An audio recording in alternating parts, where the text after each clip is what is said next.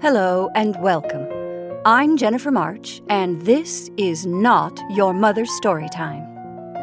This week, we bring you two stories by Kathleen Norris Poor Dear Margaret Kirby and Dr. Bates and Miss Sally. Norris was a native of San Francisco. I enjoy reading her stories.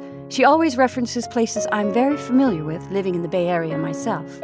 Norris started her writing career in the newspaper industry and eventually became the highest paid woman writer of her time.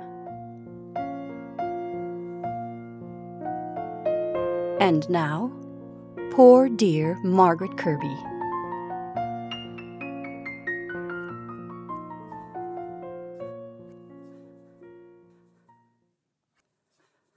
You and I have been married nearly seven years. Margaret Kirby reflected bitterly.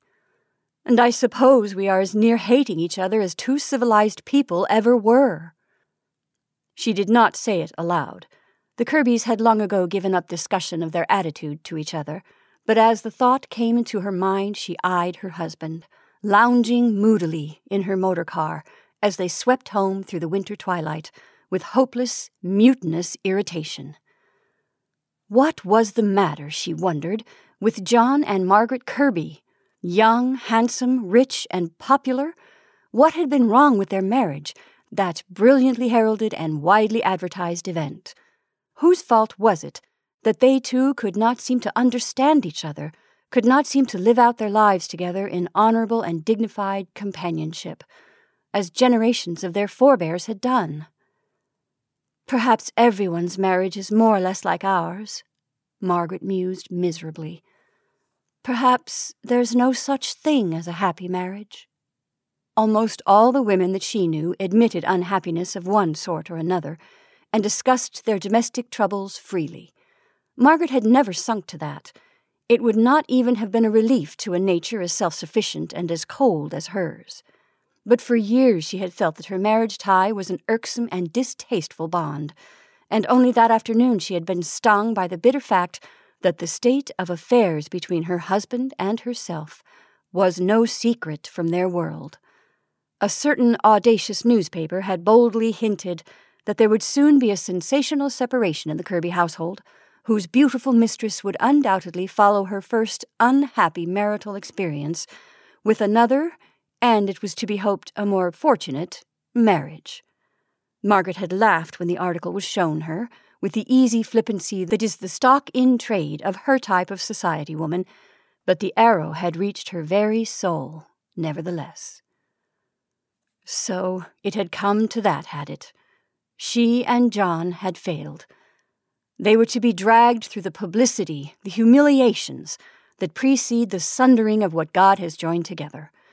They had drifted, as so many hundreds and thousands of men and women drifted, from the warm, glorious companionship of the honeymoon to quarrels, truces, discussion, to a recognition of their utter difference in point of view, and to this final, independent, cool adjustment that left their lives as utterly separated as if they had never met. Yet she had done only what all the other women she knew had done, Margaret reminded herself, in self justification. She had done it a little more brilliantly, perhaps she had spent more money, worn handsomer jewels and gowns. She had succeeded in idling away her life in that utter leisure that was the ideal of them all, whether they were quite able to achieve it or not. Some women had to order their dinners, had occasionally to go about in hired vehicles, had to consider the costs of hats and gowns.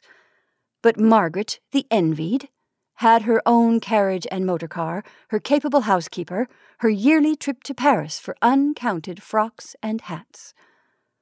All the women she knew were useless, boasting rather of what they did not have to do than of what they did, and Margaret was more successfully useless than the others. But wasn't that the lot of a woman who is rich and marries a richer man? Wasn't it what married life should be? I don't know what makes me so nervous tonight, Margaret said to herself, finally, settling back comfortably in her furs. Perhaps I only imagine John is going to make one of his favorite scenes when we get home. Probably he hasn't seen the article at all. I don't care anyway. If it should come to a divorce, Why, we know plenty of people who are happier that way. Thank heaven there isn't a child to complicate things.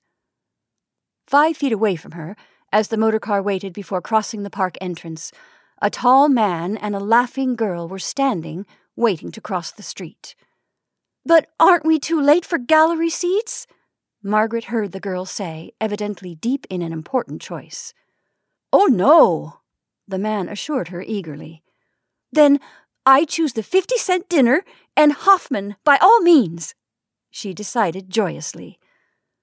Margaret looked after them, a sudden pain in her heart.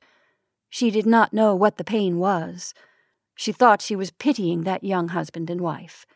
But her thoughts went back to them as she entered her own warm, luxurious rooms a few moments later. Fifty cent dinner, she murmured. It must be awful. To her surprise, her husband followed her into her room without knocking and paid no attention to the very cold stare with which she greeted him. Sit down a minute, Margaret, will you? he said. And let your woman go. I want to speak to you. Angry to feel herself a little at loss, Margaret nodded to the maid and said in a carefully controlled tone, I am dining at the Kelseys, John. Perhaps some other time. Her husband, a thin, tall man, prematurely gray, was pacing the floor nervously, his hands plunged deep in his coat pockets. He cleared his throat several times before he spoke. His voice was sharp, and his words were delivered quickly. It comes to this, Margaret. I'm very sorry to have to tell you, but things have finally reached the point where it's. Uh, it's got to come out. Bannister and I have been nursing it along. We've done all that we could. I went down to Washington and saw Peterson, but it's no use. We turn it all over, the whole thing, to the creditors tomorrow. His voice rose suddenly. It was shocking to see the control suddenly fail. I tell you, it's all up, Margaret. It's the end of me. I won't face it. He dropped into a chair, but suddenly sprang up again and began to walk about the room. Now, you can do just what you think wise, he resumed presently in the advisory, quiet tones he usually used to her. You can always have the income of your Park Avenue house. Your Aunt Paul will be glad enough to go abroad with you, and there are personal things, the house silver and the books, that you can claim. I've lain awake nights planning. His voice shook again, but he gained his calm after a moment. I want to ask you not to work yourself up over it, he added. There was a silence. Margaret regarded him in stony fury. She was deadly white. Do you mean that Throckmorton Kirby and Son have. Ha, has failed? she asked. Do you mean that my money, the money that my father left me, is gone? Does Mr. Bannister say so? Why, why has it never occurred to you to warn me? I did warn you. I did try to tell you in July. Why, all the world knew how things were going. If, on the last word, there crept into his voice the plea that even a strong man makes to his woman for sympathy, for solace, Margaret's eyes killed it.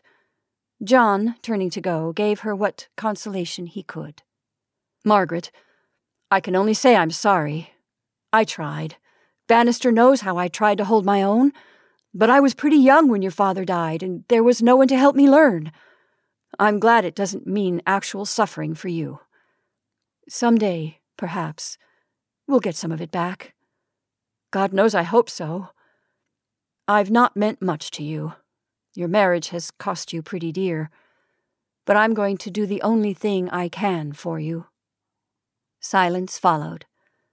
Margaret presently roused herself. I suppose this can be kept from the papers. We needn't be discussed and pointed at in the streets, she asked heavily her face a mask of distaste. That's impossible, said John briefly. To some people, nothing is impossible, Margaret said. Her husband turned again without a word and left her. Afterward, she remembered the sick misery in his eyes, the whiteness of his face. What did she do then? She didn't know. Did she go at once to the dressing table? Did she ring for Louise?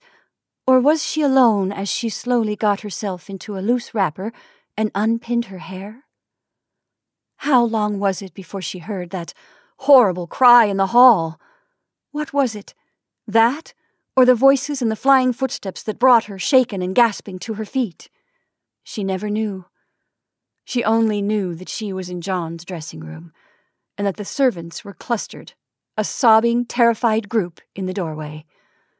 John's head, heavy with shut eyes, was on her shoulder. John's limp body was in her arms.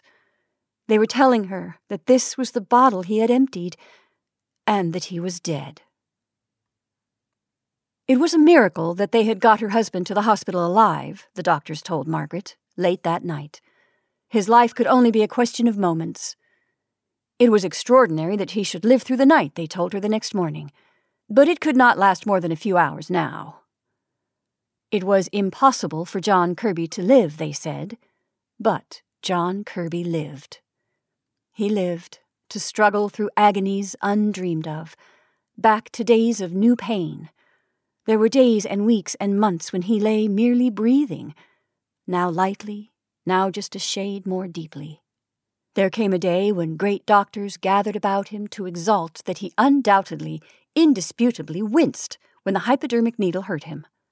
There was a great day in late summer when he muttered something. Then came relapses, discouragements, the bitter retracing of steps.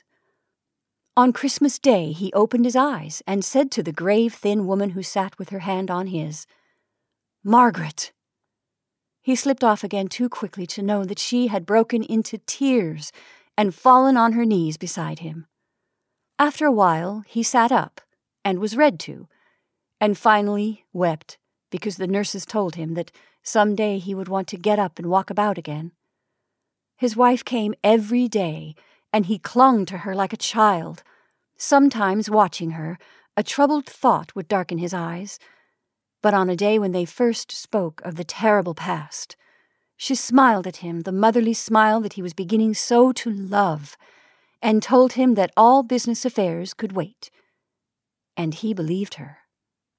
One glorious spring afternoon, when the park looked deliriously fresh and green from the hospital windows, John received permission to extend his little daily walk beyond the narrow garden. With an invalid's impatience, he bemoaned the fact that his wife would not be there that day to accompany him on his first trip into the world. His nurse laughed at him. Don't you think you're well enough to go and make a little call on Mrs. Kirby? she suggested brightly. She's only two blocks away, you know. She's right here on Madison Avenue. Keep in the sunlight and walk slowly.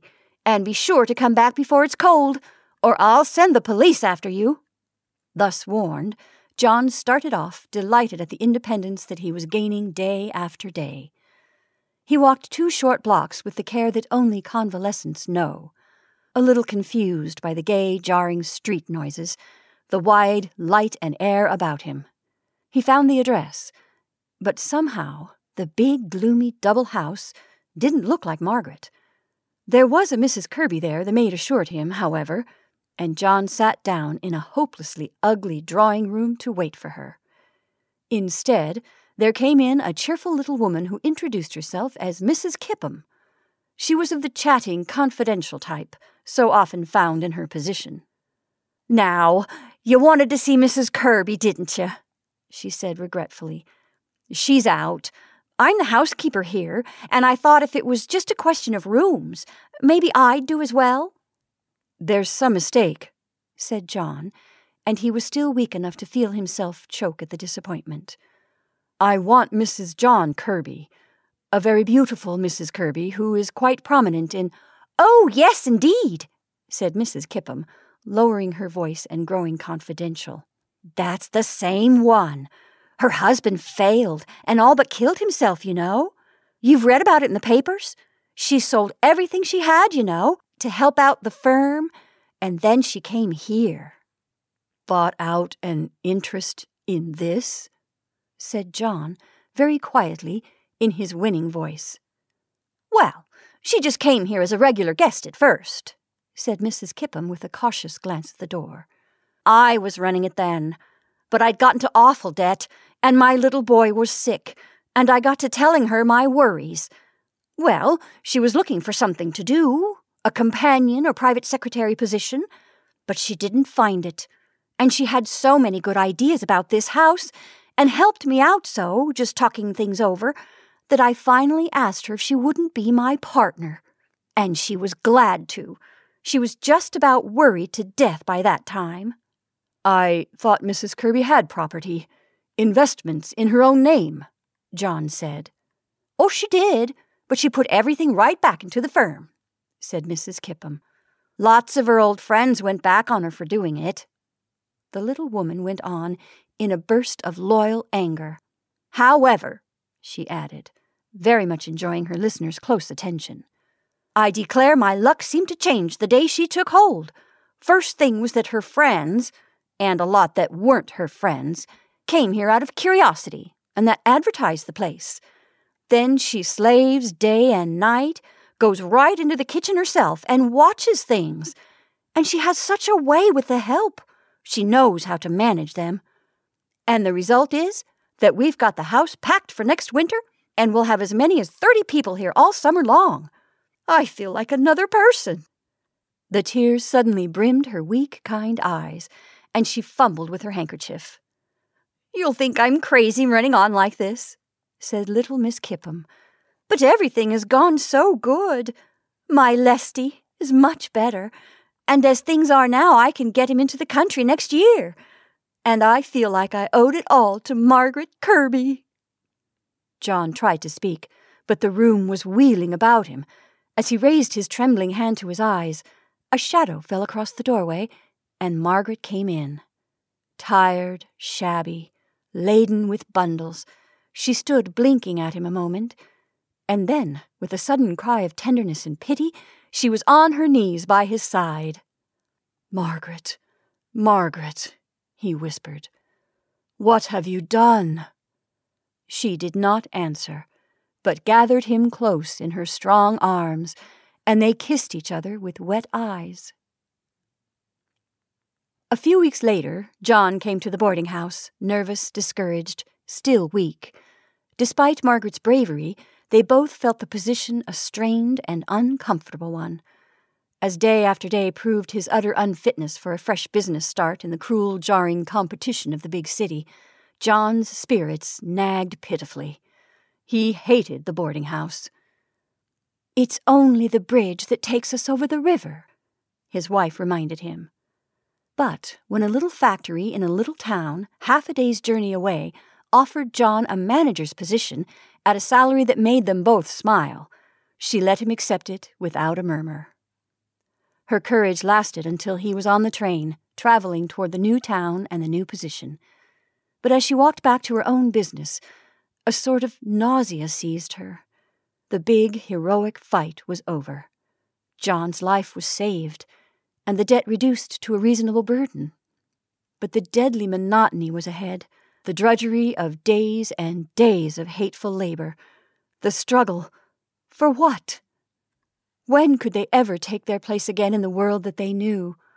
Who could ever work up again from debts like these? Would John always be the weak, helpless convalescent, or would he go back to the old type, the bored, silent man of clubs and business? Margaret turned a grimy corner and was joined by one of her boarders, a cheerful little army wife. Well, we'll miss Mr. Kirby, I'm sure, said little Mrs. Camp as they mounted the steps. And, by the way, Mrs. Kirby, you don't mind if I ask if we mayn't just now and then have some of the new towels on our floor, will you? We never get anything but the old thin towels. Of course, it's Alma's fault, but I think everyone ought to take a turn at the new towels as well as the old. Don't you? I'll speak to Alma, said Margaret, turning her key. A lonely, busy autumn followed, and a winter of hard and thankless work. I feel like a plumber's wife, smiled Margaret to Mrs. Kippum when in November John wrote her of a raise. But when he came down for two days at Christmas time, she noticed that he was brown, cheerful, and amazingly strong. They were as shy as lovers on this little holiday, Margaret finding that her old maternal, half patronizing attitude toward her husband did not fit the case at all, and John almost as much at a loss. In April, she went up to Applebridge, and they spent a whole day roaming about in the fresh spring fields together. It really is a delicious little place, she confided to Mrs. Kippum when she returned. The sort of place where kiddies carry their lunches to school, and their mothers put up preserves, and everybody has a surrey and an old horse. John's quite a big man up there. After the April visit came a long break, for John went to Chicago in the July fortnight they had planned to spend together, and when he at last came to New York for another Christmas, Margaret was in bed with a bad throat and could only whisper her questions. So another winter struggled by, and another spring, and when summer came, Margaret found that it was almost impossible to break away from her increasing responsibilities. But on a fragrant, soft October day, she found herself getting off the early train in the little station, and as a big man waved his hat to her, and they turned to walk down the road together, they smiled into each other's eyes like two children. Were you surprised at the letter? said John.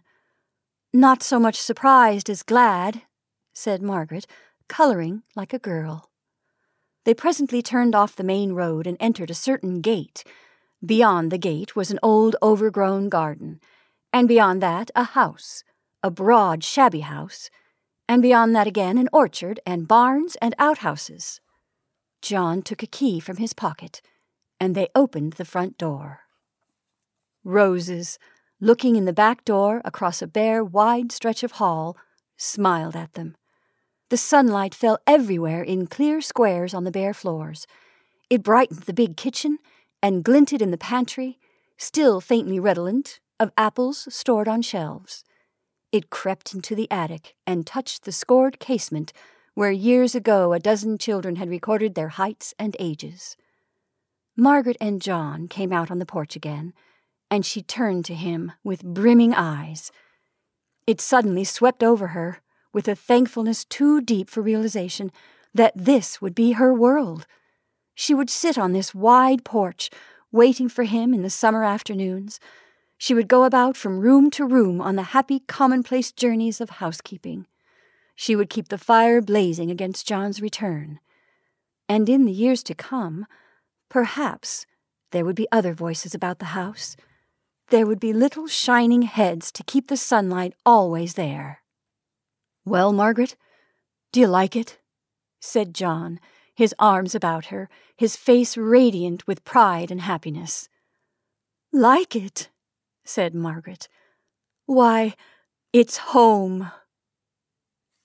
So the Kirbys disappeared from the world.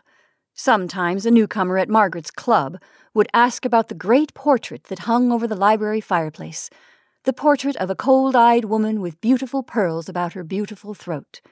Then the history of poor dear Margaret Kirby would be reviewed its triumphs, its glories, Margaret's brilliant marriage, her beauty, her wit. These only led to the final tragic scenes that had ended it all. And now she's grubbing away, who knows where, her biographer would say carelessly. Absolutely, they might as well be buried. But about seven years after the Kirbys' disappearance, it happened that four of Margaret's old intimates, the T. Ellington Frarys and the Josiah Dunnings, were taking a little motor trip in the Dunnings' big car through the northern part of the state. Just outside the little village of Applebridge, something mysterious and annoying happened to the car which stopped short, and after some discussion it was decided that the ladies should wait therein while the men walked back in search of help. Mrs. Dunning and Mrs. Frary settled themselves comfortably in the tonneau for a long wait, puzzled themselves a little over the name of Applebridge. I can just remember hearing of it, said Mrs. Dunning sleepily. But when or how, I don't know. They opened their books. A brilliant May afternoon throbbed, hummed, and sparkled all about them. The big wheels of the motor were deep in grass and blossoms. On either side of the road, fields were gay with bees and butterflies. Larks looped the blueberry vines with quick flights. Mustard tops showed their pale gold under the apple blossoms. Here and there, a white cloud drifted in the deep, clear blue of the sky. There had been rains a day or two before, and in the fragrant air still hung a little chill, a haunting suggestion of wet earth and refreshed blossoms. Somewhere near but out of sight, a flooded creek was tumbling noisily over its shallows. Suddenly, the Sunday stillness was broken by voices. The two women in the motor looked at each other, listening. They heard a woman's voice, singing, then a small, boyish voice, then a man's voice. The speakers, whoever they were, apparently settled down in the meadow, not more than a dozen yards away, for a breathing space. A tangle of vines and bushes screened them from the motor car. Mother, are me and Billy going to turn the freezer? said a child's voice, and a man asked, Tired, old lady? No, not at all. It's been a delicious walk, said the woman. The two sitting in the motor gasped. Yes, yes, yes, lovely, the woman's voice went on. You and Bill may return, if Mary doesn't mind. Be careful of my fern, Jack and then in German, Aren't they lovely in all the grass and flowers, John? Margaret, breathed Mrs. Frary. Poor dear Margaret Kirby. I hope they don't go by this way, whispered Mrs. Dunning after an astounded second. One's been so rude, don't you know, forgetting her. She probably won't know us, Mrs. Frary whispered back, adjusting her veil in a stealthy way. Mrs. Frary was right. The Kirbys presently passed with only a curious glance at the swathed occupants of the motor car. They were laughing like a lot of children as they scrambled through the hedge. John, a big, broad John, as strong and brisk as a boy, carried a tiny barefoot girl on his shoulder. Margaret, her beauty more startling than ever under the sweep of a gypsy hat. Her splendid figure, a little broader, but still magnificent under the cotton gown. Her arms full of flowers and ferns, was escorted by two more children, sturdy little boys who doubled and redoubled on their tracks like puppies. The tiny barefoot girl in her father's arms was only a tangle of blue gingham and drifting strands of silky hair. But the boys were splendidly alert little lads, and their high voices loitered in the air after the radiant, chattering little caravan had quite disappeared. Well, said Mrs. Dunning then. Poor dear Margaret Kirby was on Mrs. Frary's lips, but she didn't say it. She and Mrs. Dunning stared at each other for a long moment, utterly at a loss. Then they reopened their books.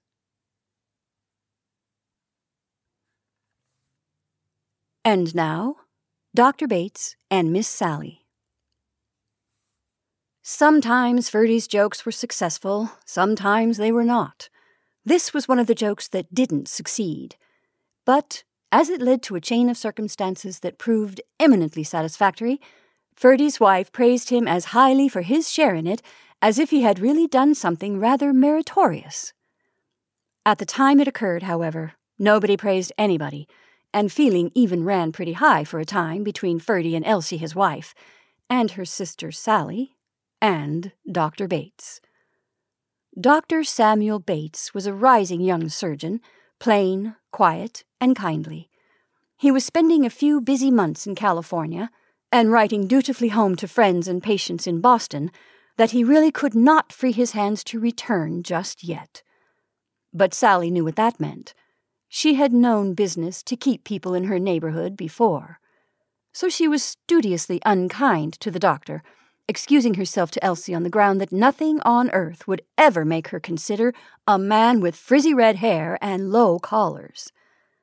Sally was a daughter and a dame. The doctor was the son of Bates' blue ribbon hair renewer. Awful facts against which the additional fact that he was rich and she was not counted nothing. Sally talked all the time.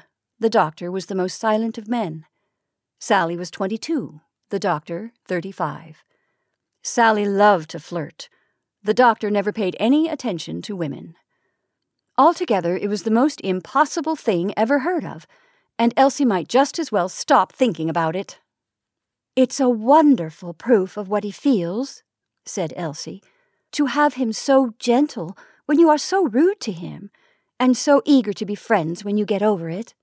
It's a wonderful example of hair tonic spirit, Sally responded. There's a good deal behind that quiet manner, argued Elsie. But not the three generations that make a gentleman, finished Sally. Sally was out calling one hot Saturday afternoon when Ferdy, as was his habit, brought Dr. Bates home with him to the Ferdys' little awninged and shingled summer home in Sausalito. Elsie, with an armful of delightfully pink and white baby, led them to the cool side porch and ordered cool things to drink. Sally, she said as they sank into the deep chairs, would be home directly and join them. Presently, sure enough, someone ran up the front steps and came into the wide hall, and Sally's voice called a blithe, Hello! There was a little rattle to show that her parasol was flung down, and then the voice again, this time unmistakably impeded by hatpins. Where's the family? Did the gentleman come? This gave an opening for the sort of thing Ferdy thought he did very well. He grinned at his guest and raised a warning finger. Hello, Sally, he called back. Elsie and I are out here. Bates couldn't come. Operation last minute. What? Didn't come? Sally called back after an instant's pause. Well, what has happened to him? But thank goodness, now I can go to the Beavises' dinner tomorrow. Operation. I must say it's mannerly to send a message the last minute like that. She hummed a second, and then added spitefully, What can you expect of hair tonic, anyhow? The frozen group on the porch heard her start slowly upstairs. Well, I might be willing to marry him, added Sally cheerfully as she mounted. But it's a real relief to snatch this glorious afternoon from the burning. Down in a second. Keep me some tea. Nobody moved on the porch. The doctor's face was crimson, Elsie's kind eyes wide with horror. Sally called a final reflection from the first landing. Too bad not to have him see me looking so beautiful, she sang frivolously. Operation. Humph! An important operation. I don't believe it. She proceeded calmly to her room and was buttoning herself into a trim linen gown when Elsie burst in, flushed and furious, cast the baby dramatically on the bed, and hysterically recounted the effects of her recent remarks. Sally, at first making a transparent effort to seem amused, and followed it with an equally vain attempt at being dignified, finally became very angry herself. When Ferdy does things like this, said Sally heatedly, I declare, I wonder. I was going to say, I wonder he has a friend left in the world. As you say, it's done now. But it makes me so furious, and I don't think it shows very much savoir faire on your part, Elsie. However, we won't discuss it. Ferdy will try one joke too many one of these days, and then. Now look here, Elsie. Sally interrupted her tirade to state with deadly deliberation. Unless that man goes home before dinner, as a man of any spirit would do, I'm going over to Mary Beavis's, and you can make whatever apologies you like. Of course he won't go, Elsie said with spirit. The only thing to do is to ignore it entirely, and of course you'll come down. Sally had resumed her ruffled calling costume, and was now pinning on an effective hat. Her mouth was set. Please, pleaded her sister, inserting a gold bracelet tenderly between George's little jaws, without moving her eyes from Sally. I will not, said Sally. I never want to see him again. Superior, big, calm codfish. Too lofty to care what anyone says about him. I don't like a man you can walk on anyway. She began to pack things in a suitcase beribboned nightwear, slippers, powder, and small jars. Presently, grasping these things firmly in, she went to the door and opened it a cautious crack. Where are they? she asked. I don't know, said Mrs. Ferdy dispiritedly. I think you're very mean.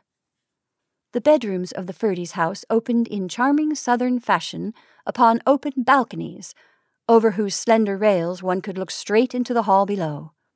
Sally listened intently. What a horrible plan this house is built upon, she said heartily. Nothing in the world is more humiliating than to have to sneak about one's own house like a thief, afraid of being seen. Where's the motor? At the side door? Good. I'll run it over to the Beavises myself, and Billy can come back with it. That is, I will if I can manage to get to the side door. Those idiots of men are apparently looking at Ferd's rods and tackle, right down there in the hall. I can distinctly hear their voices. I wish Ferd had thought of situations like this when he planned this silly balcony business. The minute I open my door, they'll look up, and I'll stay up here a week rather than meet them. They'll go soon, said Elsie soothingly as she removed a shoehorn from contact with George's mouth. I knew Ferd would regret this balcony, pursued Sally, eyes to the crack. Ferdy's not regretting it, tittered her sister. Sally cast a withering glance. Elsie devoted herself suddenly to George. Go down and lure them into the garden, pleaded Sally presently. Elsie obligingly picked up her son and departed. But Sally, watching her go, was infuriated to notice that a mild request from George's nurse, who met them in the hall, apparently drove all thoughts of Sally's predicament from the little mother's mind, for Elsie went briskly toward the nursery, and an absolute silence ensued. Sally went listlessly to the window, where her eye was immediately caught by a long pruning ladder leaning against the house a dozen feet away.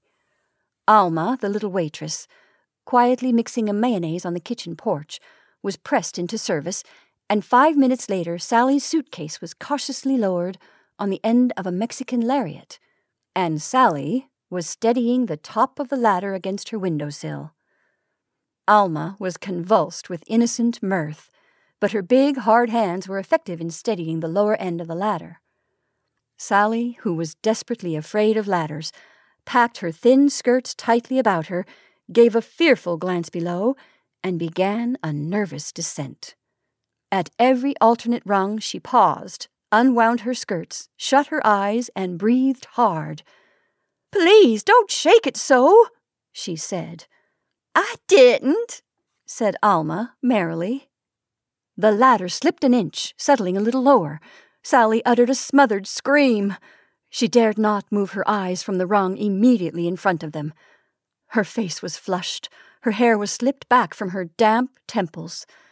It seemed to her as if she must already have climbed down several times the length of the ladder. At every step she had to kick her skirts free.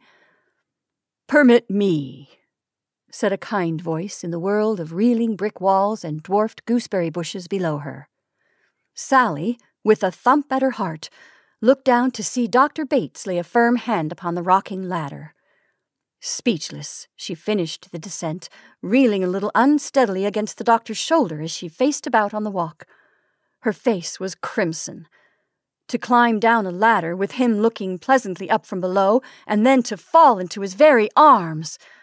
Sally shook out her skirts like a furious hen, and walked, with one chilly inclination of the head for acknowledgment of his courtesy, toward the waiting motor.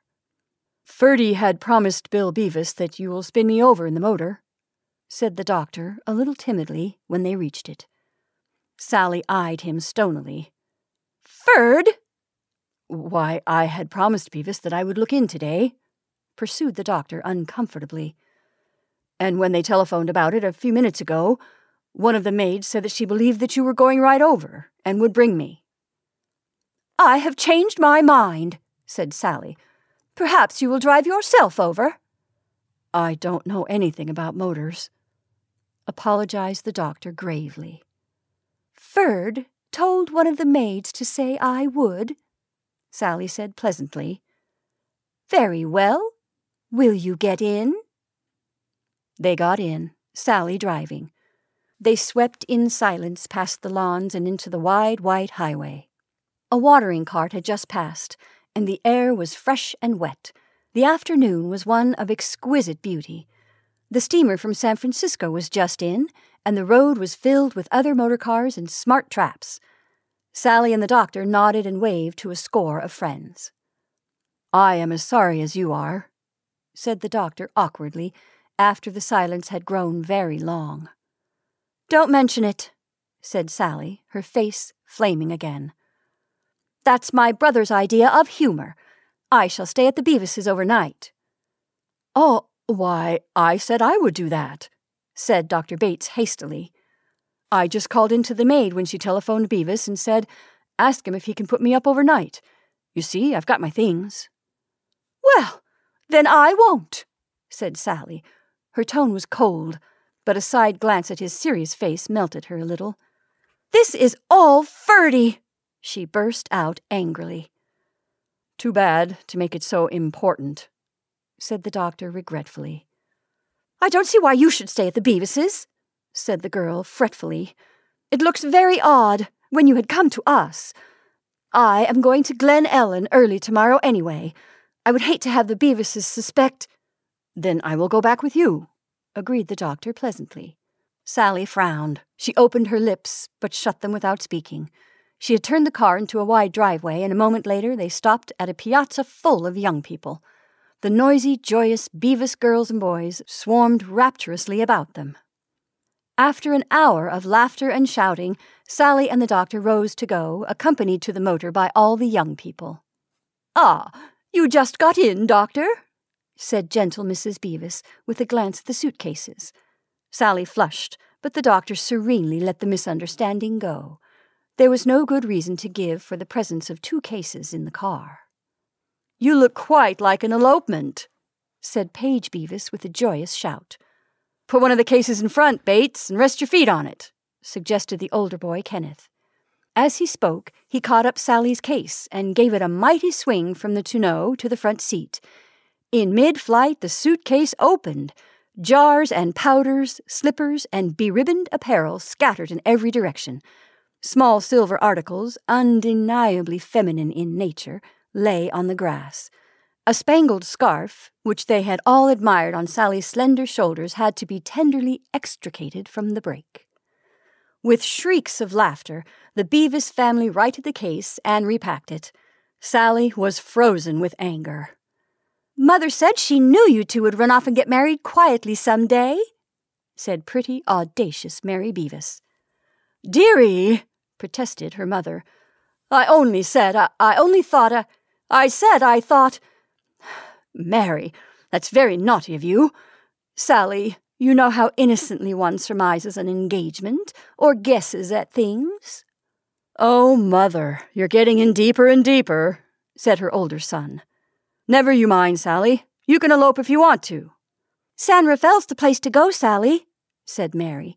All the elopers get married there, the courthouse, you know. No delays about licenses.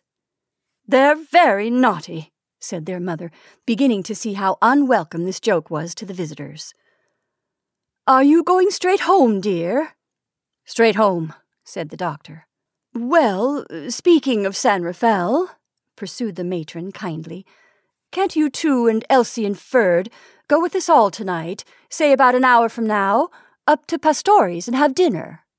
Oh, thanks, said Sally, trying to smile naturally. I'm afraid not tonight. I've got a headache, and I'm going home to turn in. Amid cheerful goodbyes, she wheeled the car and drove it along rapidly, pursuing thoughts of Beavis boys hardly short of murderous. The doctor was silent, but Sally, glancing at him, saw his quiet smile change to an apologetic look, and hated both the smile and the apology. They went more slowly on the steep road from waterfront to the hillside. The level light of the sinking sun shone brilliantly on daisies and nasturtiums at the roadside. Boats, riding at anchor, dipped in the wash of another incoming steamer. Dr. Bates hummed. But Sally frowned, and he was immediately hushed. Boy looking for you? he said presently, as a small and dusty boy rose from a boulder at one side of the road and shouted something unintelligible. Why, I guess he's for me, said Sally, in her first natural tone she had used that afternoon. But the boy, upon being interrogated, said that the telegram was for the doctor that was visiting up to Miss Sally's house. Dr. Bates read the little message several times and absently dismissed the messenger with a coin, which Sally thought outrageously large, and a muttered worried word or two. Bad news? she asked. In a way, he said quickly. When's the next train for San Rafael, Miss Sally? I've got to be there tonight, right away. Do we have to stand here? Thank you. There's a case Field and I have been watching. He says that there's got to be an operation at eight. His voice trailed off into troubled silence, and he drew out his watch. Eight, he muttered. It's on seven now. Oh, and you have to operate. How horrible for you, said Sally, taking the car skillfully toward the railroad station as she spoke. But I don't see how you can. You've missed the 6:30 train, and there's not another until after 9. But you can wire Dr. Field that you will be there first thing in the morning. The doctor paid no attention. The livery stable is closed, I suppose? he asked. Oh, long ago. He ruminated frowningly. Suddenly his face cleared. Funny how one thinks of the right solution last, he said in relief. How long would it take you to run me up there? Forty minutes? I don't see how I could, said Sally, flushing. I can take the car home, though, and ask Ferd to do it. But that woman's at the hotel, isn't she? I couldn't go up there and sit outside, with everyone I knew coming out and wondering why I brought you instead of Ferd. Elsie wouldn't like it. You must see that. It would take us fifteen minutes at least to go up and get Ferd, objected the doctor seriously. And he's not much better than I am at running it anyway. Well, I'm sorry, said Sally shortly. But I simply couldn't do it. Dr. Field should have given you more notice. It would look simply absurd for me to go tearing over these country roads at night. Elsie would go mad wondering where I was. They were in the village now, troubled and stubborn. Sally stopped the car and looked mutinously at her companion. The doctor's rosy face was flushed under his flaming hair, and in his very blue eyes was a look that struck her with an almost panicky sensation of surprise. Sally had never seen any man regard her with an expression of distaste before, but the doctor's look was actually inimical. I feared that you would be the sort of woman to fail one utterly like this, he said quietly. I've often wondered, I've often said to myself, could she ever, under any circumstances, throw off that pretty baby way of hers? and forget that this world was made just for flirting and dressing and being admired? By George, I see you can't.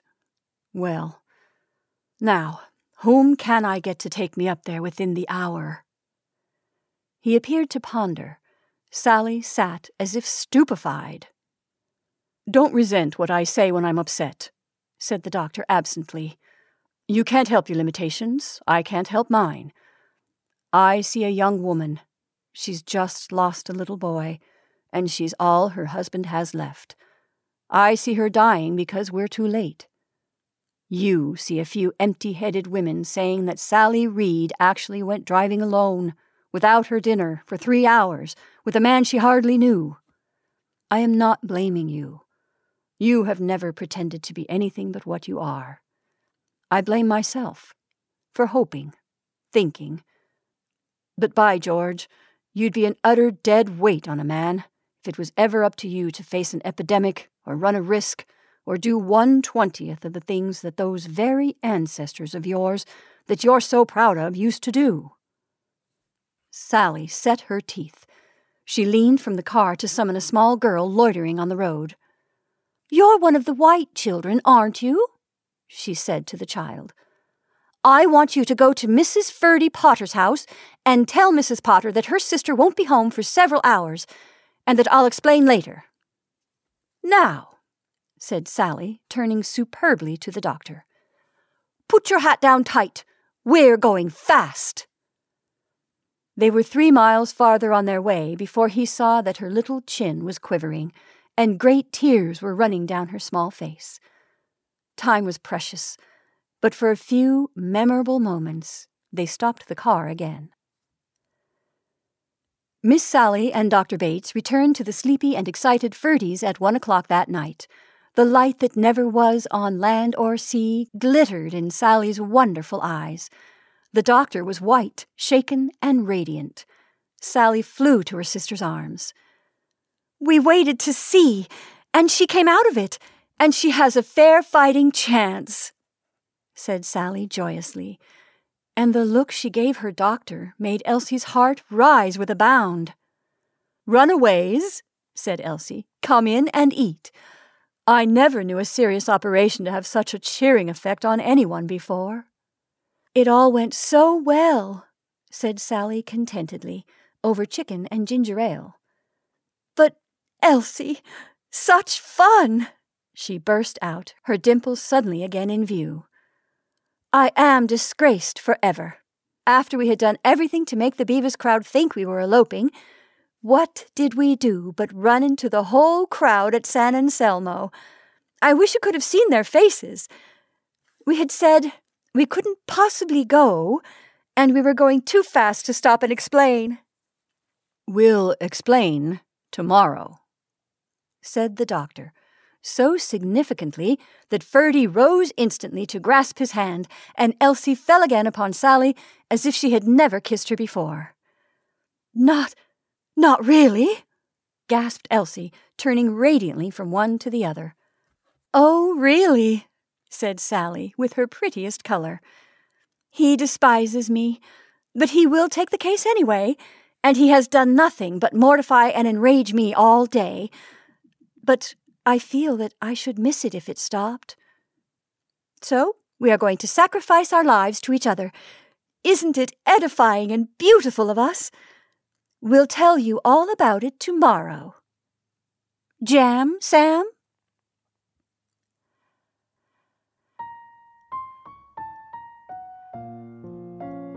And those are our stories for this evening. I hope you enjoyed Poor Dear Margaret Kirby and Dr. Bates and Miss Sally by Kathleen Norris. Thank you for listening. I'm Jennifer March, and this is not your mother's story time.